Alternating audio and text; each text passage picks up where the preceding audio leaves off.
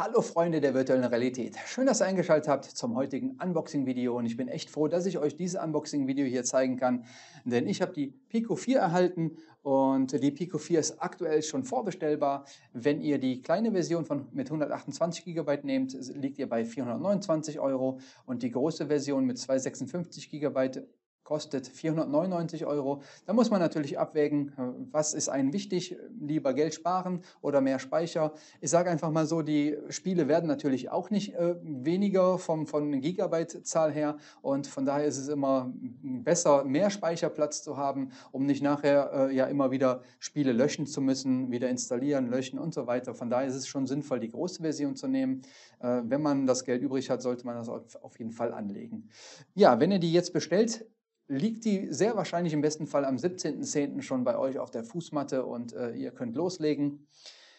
Es wird heute kein Review, sondern es gibt ein Unboxing. Ich gehe nochmal auf die ganzen Specs mit euch ein. Was ist das Besondere an dieser äh, Brille? Und äh, ja, nach diesem Unboxing-Video werde ich natürlich mir die Zeit nehmen, das Ding hier genau unter die Lupe zu nehmen, zu testen. Und äh, danach gibt es natürlich ein Review-Video. Und äh, nach dem Review-Video gibt es natürlich auch Gameplays äh, da mit der Pico 4. Und ähm, ja, ich würde sagen, wir fangen jetzt erstmal an, das Paket hier zu öffnen. Ich habe es noch nicht geöffnet und äh, ja, ich wünsche euch viel Spaß dabei.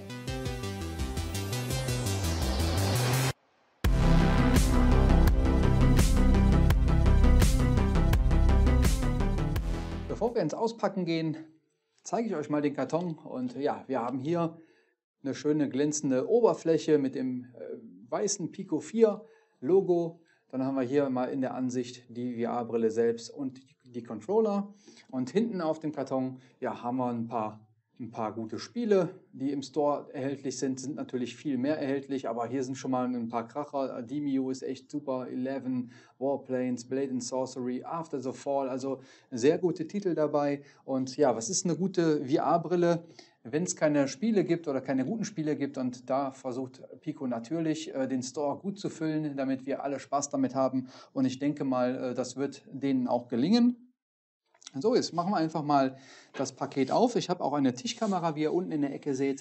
Und äh, die werde ich jetzt mal umschalten. So, damit ihr so ein bisschen einen besseren Überblick habt, was ich hier auspacke. Und ja, fangen wir einfach mal an. Ah, ich liebe ja sowas, ne? ist einfach sehr aufregend. So, also Karton ist auf jeden Fall schon mal äh, sehr hochwertig. Äh, ja, nichts wackelt. Ne? Oh, und es riecht immer so neu. Das, das ist auch einfach genial. So, das Wichtigste schiebe ich erstmal kurz zur Seite. Wir schauen uns mal an, was wir hier noch in, den, in dem Karton haben. Und äh, hier haben wir noch an der Seite, hier haben wir noch Laschen. Da haben wir noch irgendwas. Schauen wir uns mal an. Ich schiebe das auch mal zur Seite, dass dann nicht, nicht mehr stört. So, jetzt muss man immer schauen, wie kriegt man sowas auf. Ah, okay. Da haben wir es schon. So, und hier haben wir, ich denke mal, das sind kleine, kleine Heftchen. So, äh, Safety, Warranty und genau. Safety Warranty Guide dann haben wir hier den User Guide und den Quick Guide. Solltet ihr natürlich euch anschauen, äh, bevor es losgeht, dass man mal reinschaut, wie alles genau funktioniert und so weiter. So, dann haben wir hier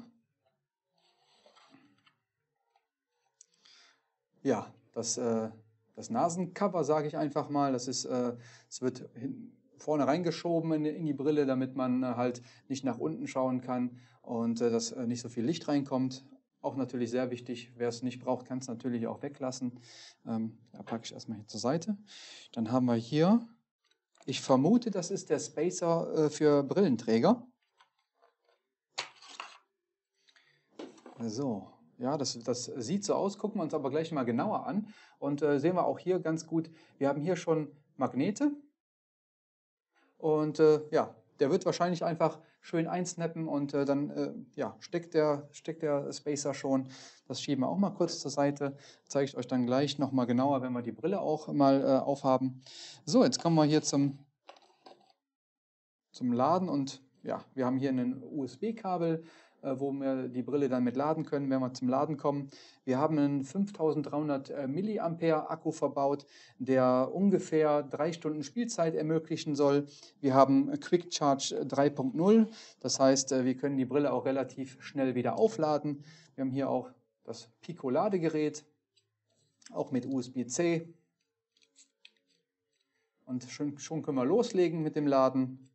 Ist natürlich auch wichtig, äh, wenn man ja, lange Sessions macht oder ähm, ja, man will aber schnell wieder spielen, dass man halt schnell die Brille auch laden kann und ja, so Quick Charge ermöglicht das natürlich auch. So, jetzt haben wir hier noch so einen kleinen Karton, wie ihr seht. Versuche ich auch mal. Die Lasche zeigt ja eigentlich ganz gut, dass da noch was versteckt ist. Ah, okay, das sind die, ähm, die Controllerschlaufen. Auch sehr wichtig, also benutzt die definitiv, denn äh, es gibt nichts Schlimmeres, als wenn man äh, während des Spiels bei irgendeinem äh, Kampfspiel oder sonst was den Controller aus die Hand rutschen lässt, aus der Hand rutschen lässt und äh, der verletzt dann eventuell Leute, die zuschauen gerade oder fliegt in den Fernseher oder Monitor rein. Muss nicht sein, von daher äh, benutzt die definitiv. So, jetzt schauen wir uns mal das Headset genauer an und heben es mal aus der Verpackung. Und hier merkt man auch das, was ich gelesen habe, dass wir wirklich Gewicht hinten haben und auch vorne und dass es relativ gut ausbalanciert ist. Ähm, das kommt natürlich daher, weil die Akkus hinten verbaut sind und bei anderen VR-Headsets hat man das Problem, dass wirklich alles ähm, vorne verbaut ist. Dadurch ist die Brille dann meistens frontlastiger und kann eventuell dann irgendwann drücken, weil es hier runterzieht. Und ja, hier hat man natürlich jetzt den Vorteil, dass es hier vorne leichter ist und äh, ja, dass man das eventuell dann nicht mehr so frontlastig hat, dass es nicht mehr stört. Das Ganze können wir uns jetzt mal anschauen. Dafür muss ich erstmal hier diesen Aufkleber entfernen. Das mache ich jetzt mal ganz kurz. So, wir haben hier bei dem Aufkleber, ich zeige euch das mal auf der großen Kamera, haben wir hier diesen, diesen Versteller und äh, damit können wir das Headset kleiner oder ne, weiter oder enger schnallen und das mache ich jetzt einfach mal, dazu ziehe ich mir aber mal kurz die Brille aus und äh, testen wir mal ganz kurz, wie der, wie der Halt so ist.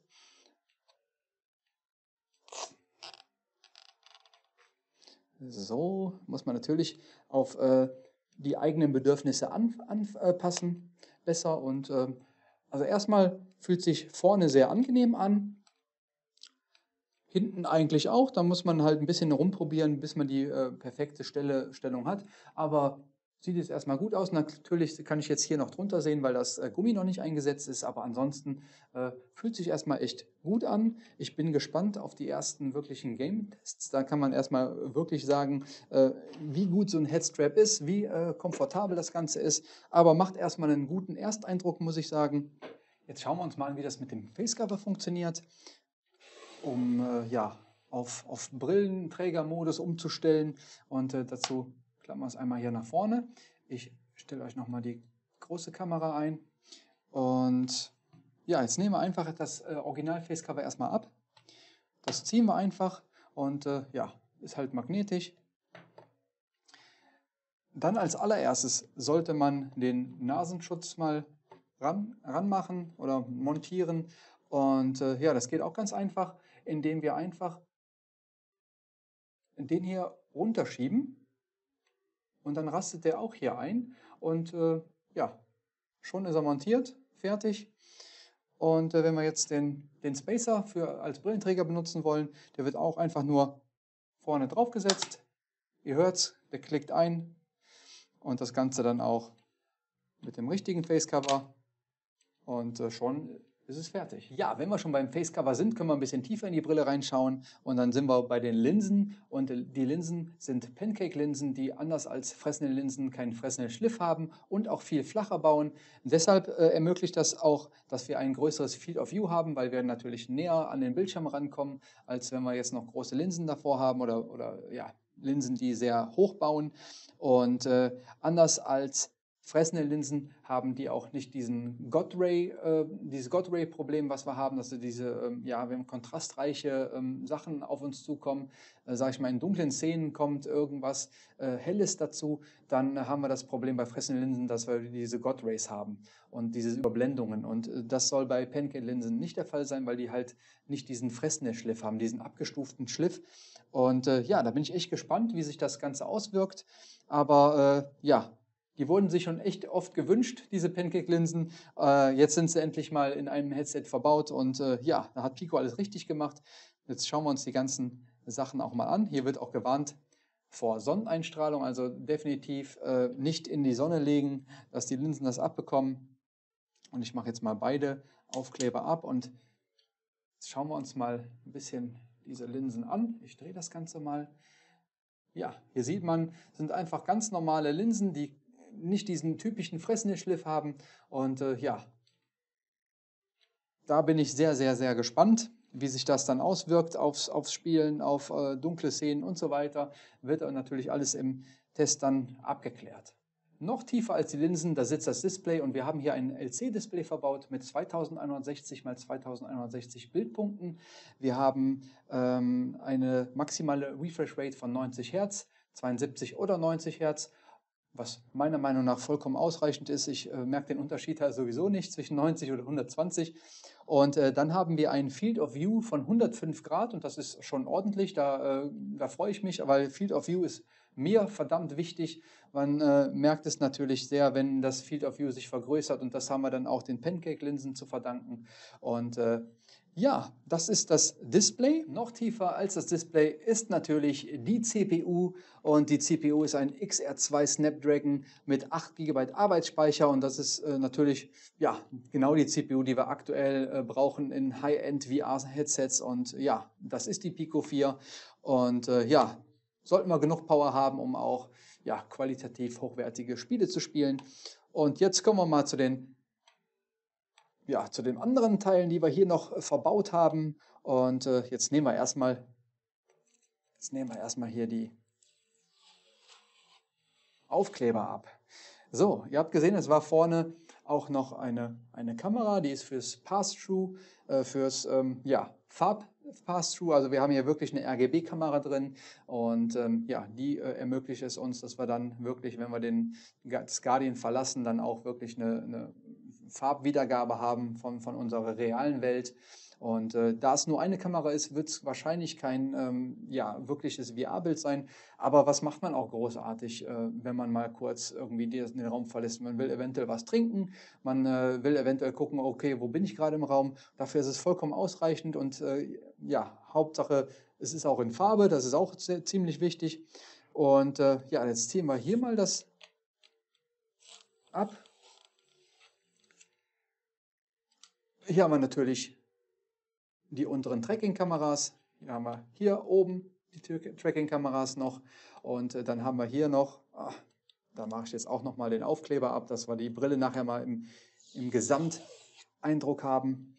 Ich weiß nicht, ob ihr es jetzt hier sehen könnt. Die zwei kleinen Löcher, die wir hier haben. Ich mache euch das mal ganz kurz auf die große Kamera. So, hier haben wir sie. Diese zwei kleinen Löcher, das sind die Mikrofone, das ist ein Dual-Mikrofon mit Noise Cancelling und so weiter. Und das ist natürlich auch sehr wichtig, wenn wir ja auch Aufnahmen machen wollen oder auch äh, Multiplayer-Games zocken, dass das auch eine vernünftige Qualität ist. Und das werde ich natürlich dann auch noch testen. Wie sind die eingebauten Mikrofone? Dann zeige ich euch jetzt noch die Lautsprecher, die wir hier verbaut haben. Dann haben wir hier unten noch die Lautsprecher an den entsprechenden Stellen hier. Und ich versuche euch jetzt das zu zeigen. Ich gehe mal auf die Tischkamera. Ist, glaube ich, dann besser zu sehen, dass wir hier auch noch zwei Auslässe haben. Und das soll uns dann wirklich einen guten äh, 3D-Sound liefern. Und da bin ich auch gespannt. Das ist natürlich sehr wichtig, äh, um einen in der Immersion zu halten, äh, dass wir richtig guten Sound haben. Auch, äh, dass man eventuell auch mal ja, Gegner orten kann. Und äh, da bin ich auch gespannt drauf, äh, wie kommt das Ganze rüber. Eigentlich bin ich ja so ein Fan von wirklich einen Over-Here, ähm, ja, Lautsprechern oder Kopfhörern, die wir dann da drüber haben. Und ähm, gibt es Leute, die äh, stecken sich Bluetooth-Kopfhörer rein. Aber äh, natürlich, wenn das ein guter Sound ist, braucht man das alles nicht. Aber da bin ich echt gespannt, ob, ein, äh, ob das laut genug ist, ob man das wirklich äh, in der VR-Welt hält. Das gibt es natürlich dann auch, wenn der Test fertig ist. Ja, jetzt haben wir sehr viel zu der VR-Brille selbst uns angeschaut und angehört. Und jetzt äh, kommen wir mal zu den Controllern. Und ich nehme die mal so und ja, fühlt, fühlt, sich, Fühlt sich gut an, muss ich sagen. Das Kunststoff ähm, fühlt sich so ein bisschen angeraut an, also dass man so einen guten Grip hat. Äh, ist jetzt kein ganz glattes Kunststoff, was natürlich positiv ist. Die Controller fühlen sich wertig an, auch vom, vom, vom Drücken her. Fühlen sich echt nicht schlecht an. Also ich habe jetzt keine Riesenhände. Also ich habe so für einen Mann ganz normale Hände und schaut mal, ich komme überall mit meinem Daumen dran an jeden Button, muss mich jetzt nicht großartig ähm, ja, verbiegen. Ich weiß nicht, ob jetzt ähm, Menschen mit richtig großen Händen könnten hier eventuell Probleme kriegen. Das muss man aber auch noch abklären. Ähm, das kann ich jetzt von mir aus nicht sagen. Also ich habe habe jetzt überhaupt kein Problem damit. Die fühlen sich echt gut an, liegen gut in der Hand.